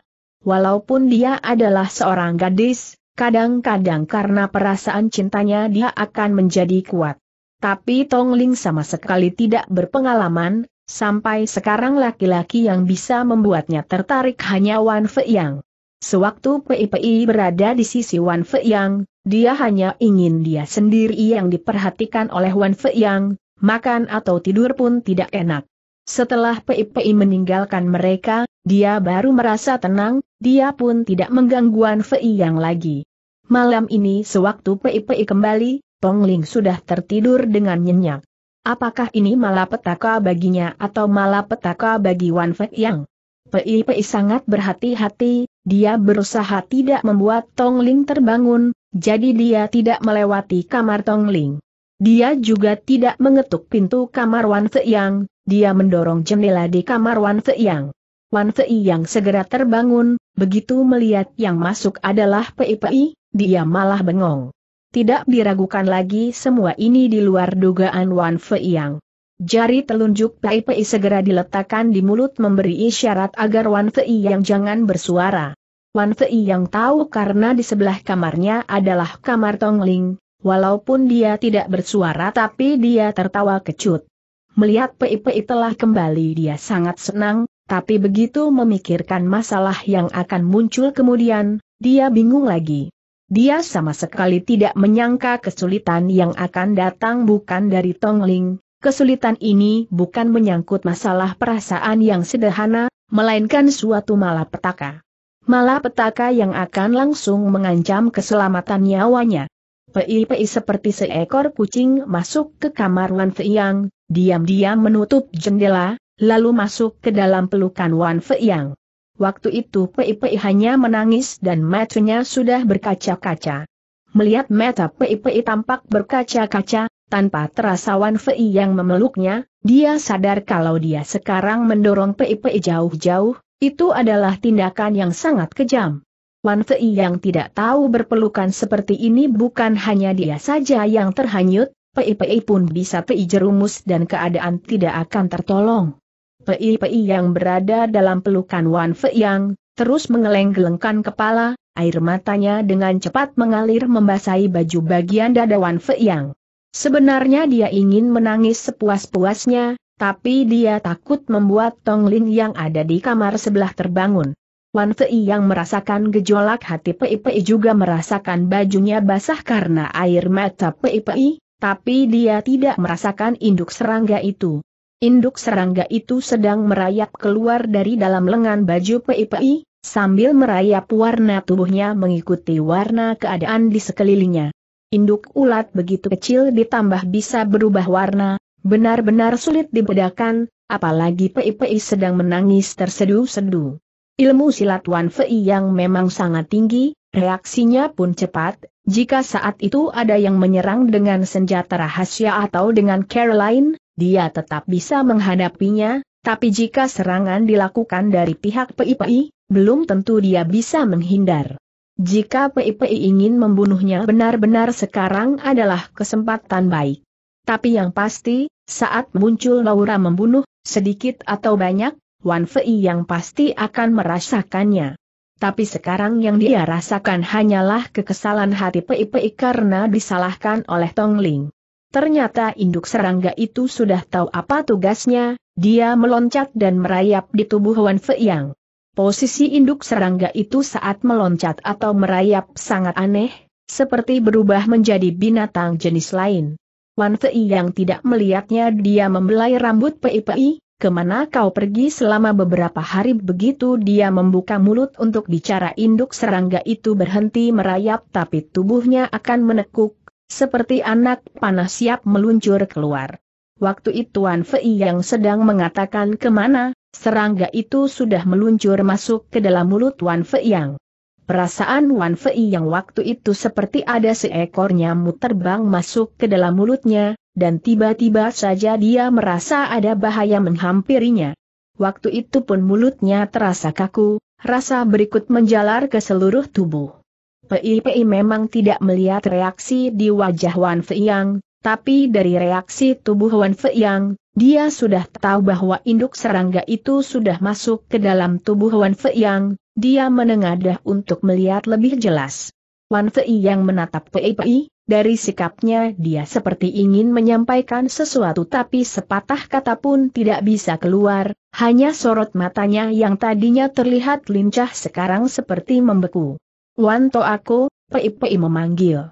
Wan Fei yang mendengar panggilan itu kedua alisnya berkerut, dia seperti ingin menatap Pei Pei lebih jelas, tapi dengan cepat dia melonggarkan pelukannya. Tapi sorot mata kaku dan beku itu mulai berubah dia terlihat lincah lagi, tapi tidak setajam tadi, matanya seperti tertutup oleh kabut tipis, dan dia ya terlihat linglung. Wan To Ako, sekali lagi Pei Pei memanggil. Reaksi Wan Fei yang sekali ini berbeda dibandingkan tadi, kedua tangannya bertambah erat memeluk Pei Pei, lalu mencium mulut Pei Pei, leher, juga dadanya. Pei Pei merasa terkejut sekaligus senang dan malu. Pei Pei jadi mengerti induk serangga itu sudah mulai melakukan tugasnya, dia juga tahu apa yang akan dilakukan Wan Fei Yang, dia sudah siap, tapi sewaktu hal ini datang dia tetap merasa bimbang. Suhu tidak berbohong kepadaku, pikiran ini baru muncul. Pei-Pei merasa Wan Fei yang sudah membuka baju bagian dadanya, dia merasa malu dan menoleh ke arah lain. Sebelumnya dia pernah membuka baju di depan Wan Fei Yang. Memang saat itu dia ingin bersaing dengan Tong Ling, waktu itu dia sedang marah, maka dia tidak merasakan apa-apa, sekarang hanya ada mereka berdua, dia tahu apa yang akan dilakukan Wan Fei Yang, dia tetap merasa bingung. Dia meronta, rontaan ini semakin membuat Wan Fei Yang bersikap kasar dan gila. Akhirnya Pei Pei telanjang bulat dan digendong ke ranjang. Sekarang pikiran Wan Fei yang sudah terbakar oleh nafsu birahi, tidak ada hal lain yang dipikirkannya. Induk serangga itu memang sudah mulai bekerja, serangga lain tidak akan bisa berbuat seperti induk serangga ini, serangga ini bisa menguasai pikiran Wan Fei yang, selain itu bisa menggali nafsu paling primitif manusia, nafsu birahi yang tersimpan di dalam semua orang. Pei-Pei pun tidak terkecuali, nafsu birahi Pei-Pei tergali oleh Wan Fei Yang, dia lupa pada semua hal, dia menikmati nafsu birahi sepuasnya. Suara dengusan kedua orang ini membuat Tong Ling yang ada di kamar sebelah kamar jadi terbangun, dia berdiri di depan jendela, dia menggigit bibirnya sampai berdarah. Suara mereka memang tidak terlalu besar, tapi pendengaran Tong Ling sangat tajam, Mana mungkin dia tidak akan mendengarnya?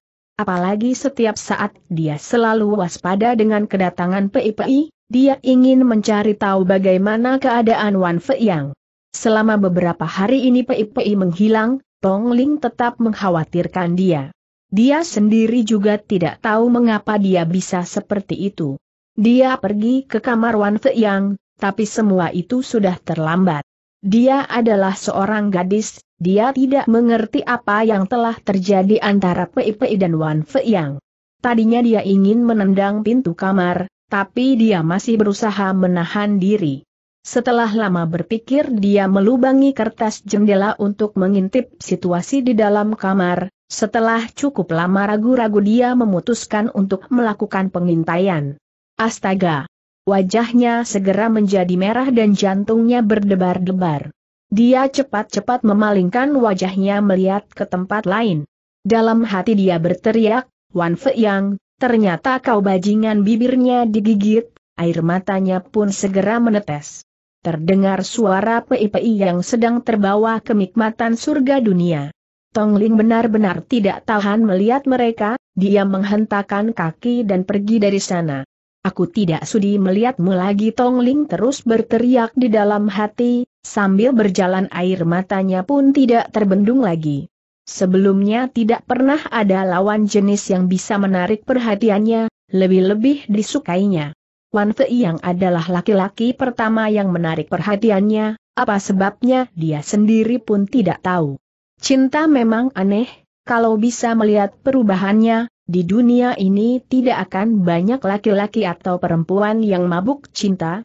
Mungkin ini adalah kehendak langit, akhirnya Wan Fei yang tidak bisa lari dari malapetaka ini. Sewaktu Wan Fei yang bangun, hari sudah terang, dia masih dalam keadaan telanjang, begitu juga Pei Pei. Pei Pei belum bangun, melihat Pei Pei dalam keadaan tertidur pun tampak dia masih merasakan kelembutan cintanya. Begitu melihat Pei Pei telanjang bulat, Wan Fei yang tampak terkejut, nafsu birahinya mulai terbakar lagi. Dia ingin mendekati Pei Pei lagi, tapi kali ini dia berusaha menekan nafsu birahi ini, kemudian dia melihat tetesan darah di atas spray. Mengapa bisa terjadi seperti ini Wan Fei yang menggelengkan kepala? Apa yang terjadi semalam, mulai berkelebat dalam pikirannya satu persatu. Akhirnya dia teringat ada nyamuk yang masuk ke dalam mulutnya. Koma guna-guna kata-kata ini muncul di otak Wan Fei Yang.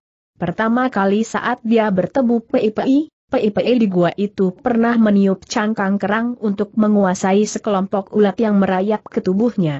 Tujuannya adalah memaksa Wan Fei Yang untuk menerima cintanya, tapi terakhir dia menarik ulat-ulat itu kembali ke sarangnya karena nasihat Wan Fei Yang.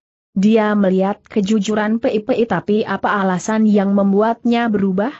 Kemudian dia, teringat PIPI meninggalkannya selama beberapa hari juga teringat pada Tongling, dia tertawa kecut. PIPI pergi karena Tongling, itu pikiran Wan Fei Yang, sebenarnya itu hanya salah satu alasannya. Kalau bukan karena petunjuk Set Kau, walaupun PIPI marah kepada Tongling, dia akan tetap akan berada di sisi Wan Fei Yang. Anak gadis paling sensitif mengenai masalah percintaan, Pei Pei pasti pernah berpikir kalau semua itu hanya akal-akalan Tongling, maksudnya adalah supaya dia meninggalkan Wan Fei Yang. Teringat pada Tongling, Wan Fei yang terpikir lagi, jika Tongling melihat kejadian tadi, apa reaksinya? Dia tidak tahu bahwa Tong Ling sudah melihat semuanya dan dengan marah sudah meninggalkan tempat itu. Melihat PIPI yang telanjang, dia mulai merasa panas dan darahnya bergejolak kembali, dia merasa aneh karena bisa mempunyai perasaan seperti itu. Wan Fei yang masih mengira semua itu karena guna-guna yang belum bersih yang ada di dalam tubuhnya ditambah lagi PIPI telanjang di depan matanya. Diam-diam dia menarik selimut untuk menutupi tubuh PIPI yang telanjang, kemudian dia duduk bersila di atas ranjang untuk mengatur nafas. Saat nafasnya diatur tidak terasa ada perasaan lain dan tidak ada perbedaan apa pun, Wan Fei yang baru merasa tenang. Dia melihat PIPI tetap terasa nafsu birahinya bergolak kepada PIPI, hanya saja tidak sekuat tadi. Perasaan seperti ini tidak pernah dirasakannya sebelumnya, dia menganggap semua itu hanya reaksi biasa dari seorang pria, tapi dia harus mengakui kalau PIPI benar-benar seorang gadis cantik dan menarik.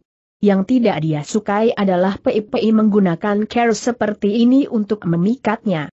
Tapi dia memaafkan perilaku PIPI karena mencintainya. Akhirnya PIPI terbangun juga.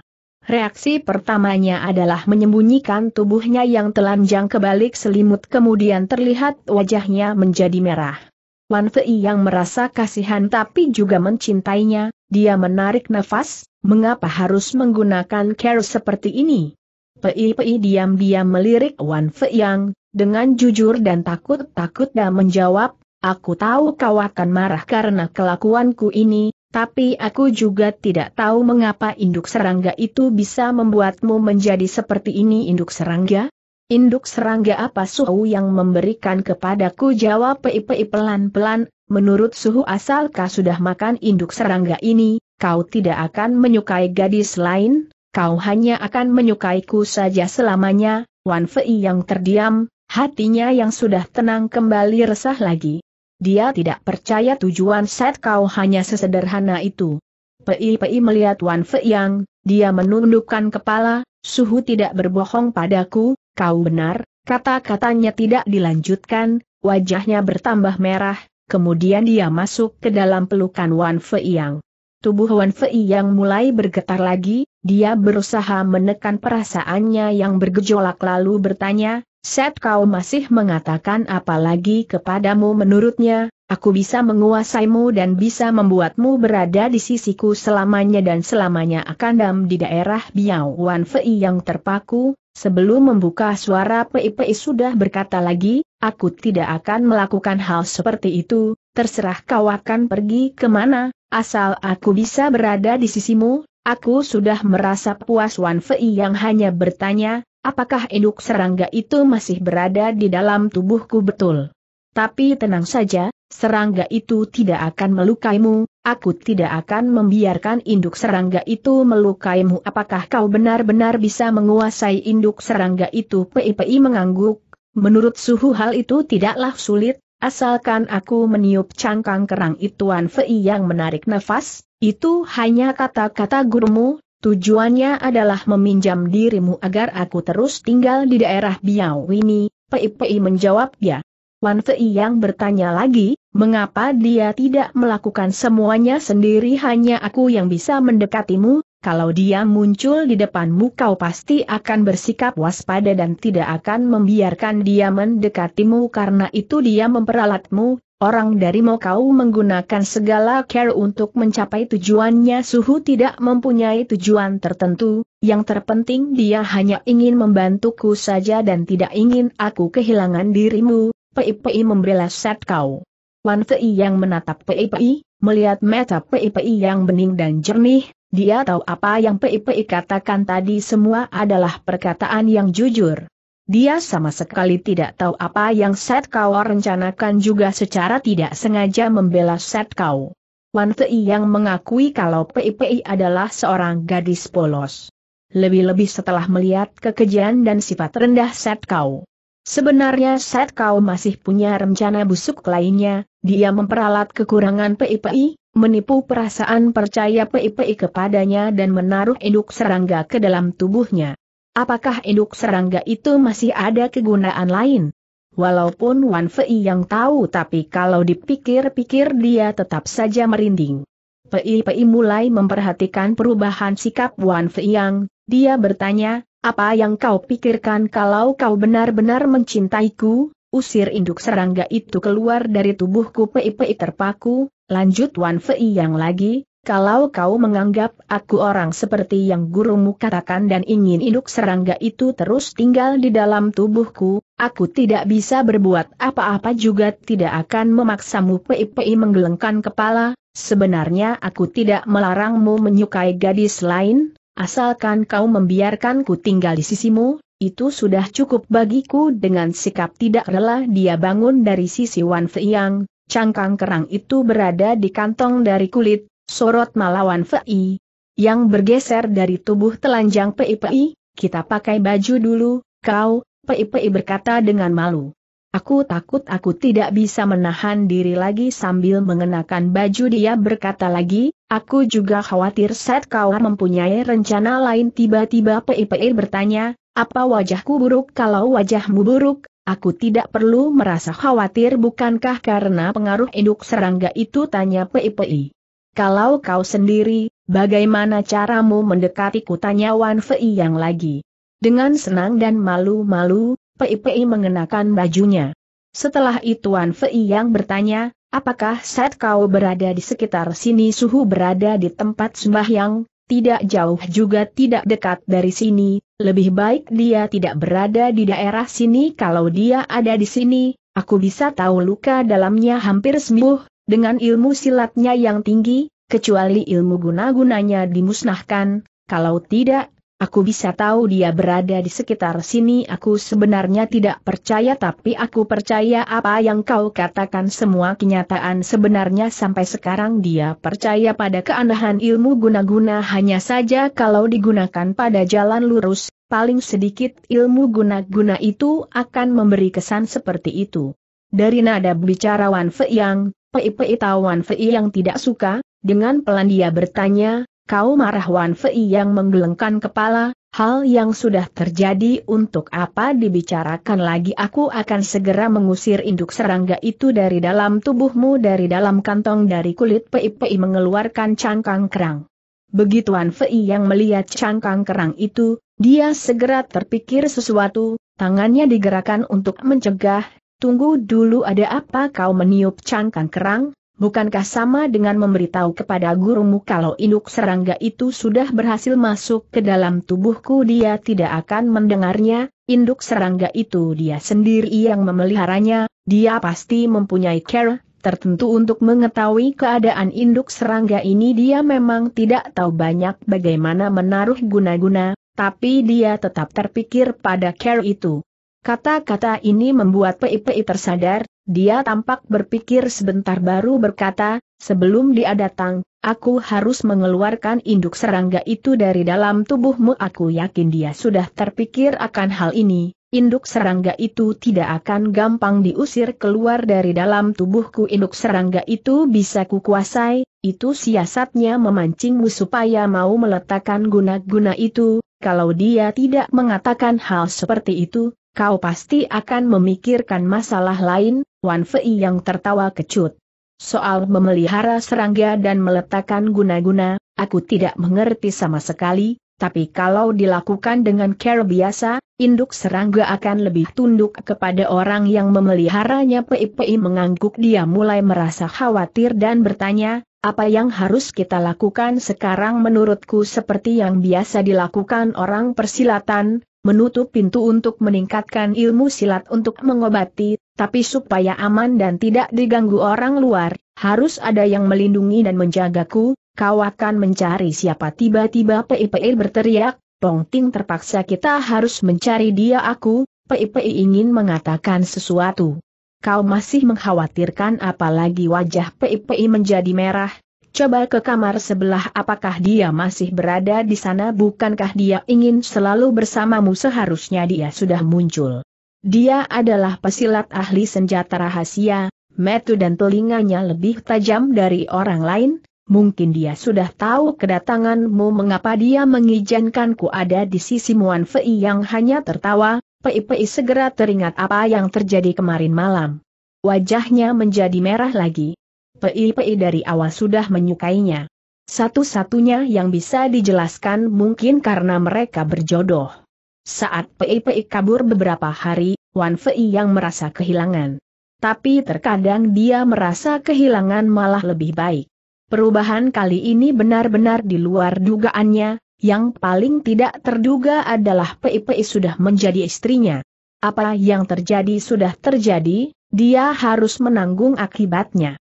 Perasaan ini membuatnya harus lebih berhati-hati dan teliti, membuatnya harus lebih banyak berpikir. Memikirkan hal sekarang juga masa yang akan datang. Perasaan ini menjadi sebuah beban. Perkiraan Wan Fei yang tidak salah. Tong Ling sudah tahu apa yang terjadi semalam antara dia dan PIPI, diam-diam dia pergi meninggalkan tempat itu. Walaupun dia sudah menduganya sewaktu PIPI memberitahu tidak ada Tong Ling di kamarnya, dia tetap merasa bengong. Kemudian dia melihat kertas di jendela kamarnya berlubang, dia tertawa kecut. Dia tidak memberitahu PIPI karena PIPI akan merasa malu, dan tidak ada kebaikan untuknya. Dia juga bisa menebak Tong Ling tidak akan kembali lagi, tidak ada orang yang akan melindunginya, dia juga merasa khawatir di penginapan ini Pei akan meniup cangkang kerang. Ingin mengeluarkan induk serangga dari dalam tubuhnya dan mencari suatu tempat yang aman. Set kau berada di sekitar sini, mereka harus pergi ke tempat yang jauh dari sini. Pei sangat menurut kepada Wan Fei Yang, dia sudah menjadi istri Wan Fei Yang maka semua harus mengikuti kemauan Wan Fei Yang. Setelah melihat jelas keadaan sekeliling penginapan dan yakin tidak ada yang mengawasi mereka, dia pergi bersama Pei dari sana. Dia sangat yakin tidak ada yang mengawasi mereka. Mereka tidak salah, Set kau tidak menyuruh seseorang mengawasi mereka.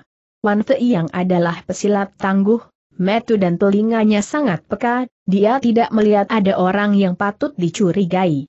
Sebenarnya Set kau tidak perlu harus menyuruh seseorang mengawasi mereka, sebab induk serangga yang berada di dalam tubuh Wan Fei yang atau berada di tangan PIPI bisa membuatnya mengetahui keberadaan mereka.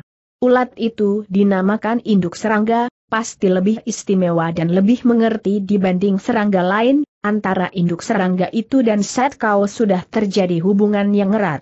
Pei Pei dan Wan Fei yang tahu Set Kau adalah majikan dari induk serangga itu tapi mereka tidak tahu ke mana mereka harus pergi, induk serangga itu akan terus hidup dan Set Kau akan tahu keberadaan mereka.